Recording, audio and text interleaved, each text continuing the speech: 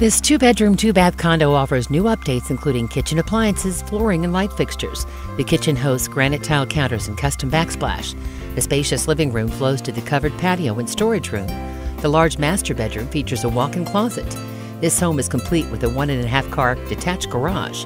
Make this one of a kind home yours today by calling Dave Elmblad